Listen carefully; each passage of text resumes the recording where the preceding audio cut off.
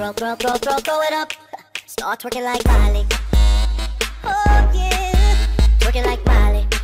Don't pop it like Miley. Kỳ lạ mèo ăn chay niệm Phật phủ phục trước tượng Phật tổ. Con mèo kỳ lạ có tên giải thoát này không ăn thịt, không ăn cá, cũng không sát sinh, chỉ ăn cơm và đồ chay. Khi nghe các nhà sư tuyệt đối im lặng nằm phụ phục trước tượng Phật tổ. Con mèo kỳ lạ sống trong một ngôi chùa tại Hàn Quốc, được sư trụ trì của chùa đặt tên là Giải Thoát. 4 năm trước, sư trụ trì phát hiện con mèo lạ lùng trước Phật đường. Lúc đó toàn thân con vật bỗng nặng, vô cùng đau đớn. Sư trụ trì đã cứu chữa sau đó nuôi dưỡng nó. Sư trụ trì quy định con mèo không thể làm ba việc sau. Một là không được kêu meo meo trong Phật đường, hai là không được ăn thịt, ba là không được sát sinh. Kỳ lạ là con mèo như có linh tính, nghe hiểu lời của sư trụ trì. Mấy năm nay nó chưa hề phạm phải bất cứ điều nào. Khi sư trụ trì và các nhà sư khác tụng kinh, con mèo không hề kêu lên tiếng nào. Trái lại, nó nằm im, phủ phục trên tấm nệm, hai chân trước đặt ngay ngắn trước mặt, phủ phục trước tượng Phật, giống như thực sự đang bái lạy Phật tổ. Khi ăn cơm, con mèo không nghịch ngợm đòi hỏi, nó ngồi lẳng lặng một bên, đợi sư trụ trì lấy cơm cho ăn. Đặc biệt mỗi lần ăn cơm, mắt của con mèo lạ lùng đều long lanh như chứa nước. Có lúc còn rơi nước mắt, giống như những giọt nước mắt cảm động. Cảm ơn sư trụ trì từ bi thu nhận. Câu chuyện con mèo ăn chay niệm Phật có tên giải thoát gây kinh ngạc. Có người không tin, họ bèn thử nó bằng cách dụ dỗ giải thoát ăn đùi gà thơm ngào ngạt, cá rán, ngọt thịt. Thế nhưng giải thoát tuyệt đối không ngó ngàng. Khi bị dụ ăn thịt, nó ngửi qua rồi quay đầu đi chỗ khác, thậm chí còn bỏ đi không quay lại. Thực sự khiến người khác phải kinh ngạc và cảm phục.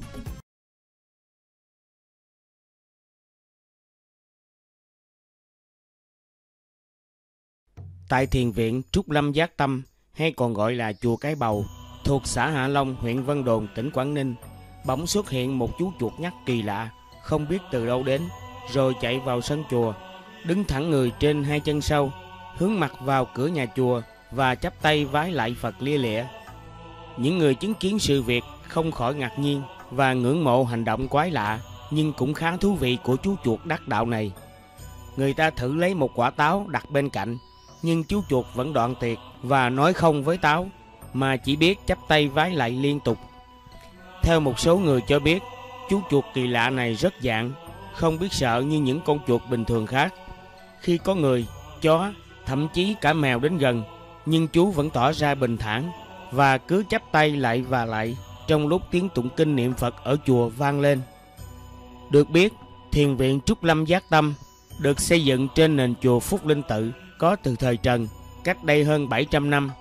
Sự việc kỳ lạ trên chưa từng xảy ra hoặc chưa từng được phát hiện trong lịch sử của ngôi chùa này.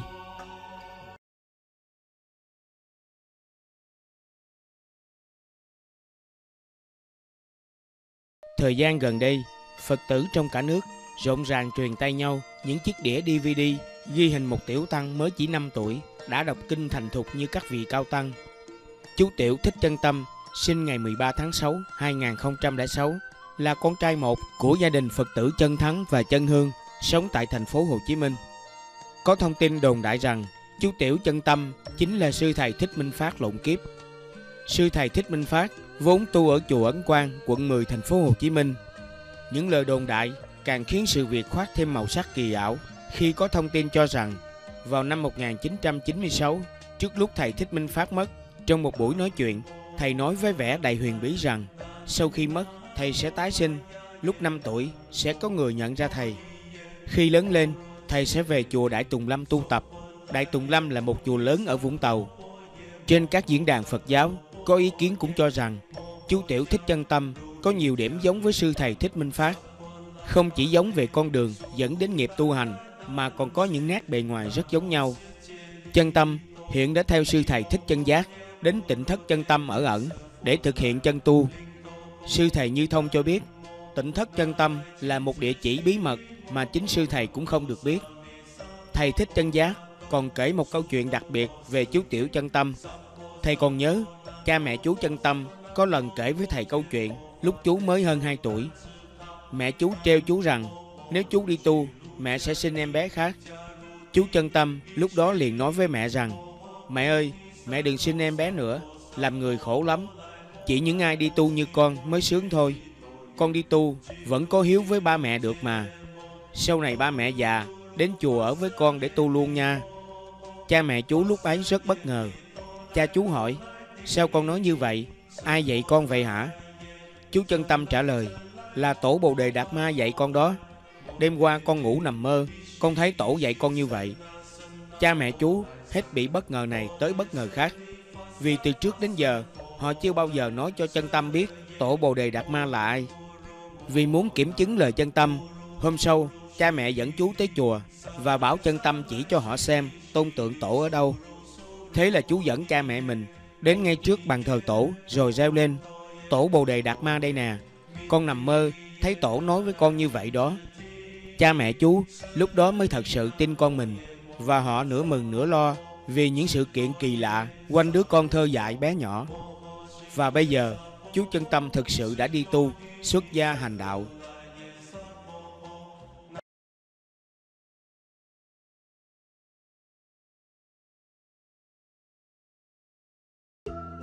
Những vần sáng hình tròn, hình ngũ giác hay lục giác xuất hiện trong tấm ảnh chụp tượng Phật và các công trình tín ngưỡng hiện vẫn gây ra rất nhiều tranh cãi giữa nhóm học giả và tâm linh. Các chuyên gia sau quá trình nghiên cứu lâu dài cho rằng tuyệt đại đa số đều có liên quan với những linh thể, trong đó bao gồm như thần hộ pháp của Bồ Tát hoặc quỷ thần. Bình thường có hình thức hiển hiện khác nhau. Phần lớn các cao tăng cũng đồng ý với cách nói này. Tuy nhiên, một số người theo chủ nghĩa duy vật lại lên tiếng phản đối. Họ phỏng đoán chủ quan rằng đây là hiện tượng tản xạ của các bụi. Lý thuyết này sau khi bị phủ định thì họ lại biện luận rằng đó là do hơi nước sinh ra bên trong máy ảnh kỹ thuật số tạo nên. Giả thuyết này sau khi bị chỉ ra những điểm bất hợp lý, họ tiếp tục đưa ra lập luận rằng sử dụng cuộn phim nhựa chắc chắn không thể chụp ra được những hình ảnh như trên. Trên thực tế, dẫu là dùng cuộn phim nhựa thì ảnh chụp vẫn xảy ra hiện tượng trên. Thậm chí, có người nói là chuyên gia nào đó đã chỉ ra là ánh sáng sau khi được lọc qua tro bụi, chịu nhiệt và ẩm sẽ tạo ra hiện tượng hình ảnh kỳ lạ này. Tuy nhiên, lại không có một chuyên gia nào có thể dùng thực nghiệm để nghiệm chứng những lời họ nói. Bởi vì công tác xây dựng tượng Phật cỡ lớn rất đặc thù, vậy nên trong quá trình làm việc, người xây dựng kể rằng họ thường sẽ gặp được những hiện tượng thần kỳ. Ví như điều thường thấy nhất là trong quá trình thi công, khi gặp khâu then chốt nhất, ví như lắp đặt mặt của tượng Phật hoặc đỉnh đầu, thời tiết thường sẽ phát sinh biến hóa, có những thay đổi. Cụ thể, thông thường là trước khi lắp đặt thì mưa to không dứt. Trong quá trình lắp ghép hoàn tất thì mưa dần dần ngưng hẳn. Sau khi lắp đặt xong thì mặt trời hiện ra. Có những lúc bầu trời còn xuất hiện cầu vồng. Những hiện tượng này tuyệt nhiên không thể dùng việc thời tiết thay đổi trùng hợp để giải thích. Tuy nhiên, trong quá trình thi công, bức tượng đồng thập phương phổ hiền Bồ Tát ở Kim Đỉnh, núi Nga Mi, những thợ xây tại đây đã gặp được một hiện tượng thần kỳ ghi khắc mãi và cho đến nay cũng không cách nào giải thích được. Chính là trên những tấm ảnh chụp trong quá trình thi công chụp được đều luôn thấy xuất hiện vần sáng thần kỳ. Hơn nữa, thuận theo tiến trình thi công công trình, vần sáng cũng càng lúc càng nhiều, cho đến cuối cùng hiện đầy cả bề mặt tấm ảnh. Ngoài ra, còn có một hiện tượng thần kỳ hơn, chính là những vần sáng chụp được lúc ban đầu đều có một lỗ hổng và thuận theo việc công trình dần dần hoàn tất, lỗ hổng cũng càng ngày càng nhỏ đi, thậm chí cuối cùng đã biến mất hoàn toàn. Vì để tìm thấy nguyên nhân xuất hiện những vần sáng này, những người thợ đã làm một số thí nghiệm. Trước tiên, họ dùng cùng một máy ảnh chụp ở ngay cùng vị trí của tượng Phật. Kết quả, một nửa ảnh chụp đều có vần sáng. Sau đó, ở ngay vị trí lúc nãy, chụp hướng về nơi không có tượng Phật. Kết quả là tuyệt đại đa số không có vần sáng. Sau đó, họ lại chọn dùng vài chiếc máy ảnh nhãn hiệu khác làm lại thí nghiệm kể trên. Kết quả vẫn là như vậy. Sau cùng, họ đã dùng đến máy ảnh chụp phim nhựa truyền thống. Kết quả ảnh chụp sau khi rửa ra vẫn như vậy.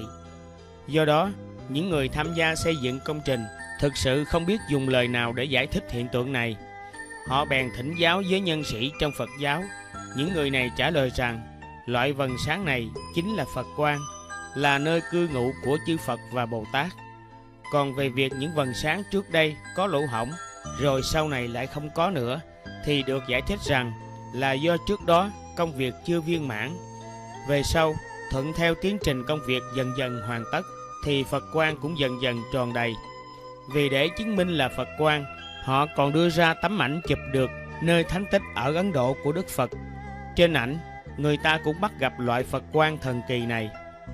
Theo lời Cao Tăng chỉ giáo, những thợ xây đều đồng ý rằng những vầng sáng là Phật quan, nhưng trong tâm vẫn có một số nghi hoặc. Vậy nên giới thiệu hiện tượng này với mọi người, mong rằng những ai có năng lực nghiên cứu có thể giúp phân tích và tìm ra nguyên nhân thật sự của vần sáng này.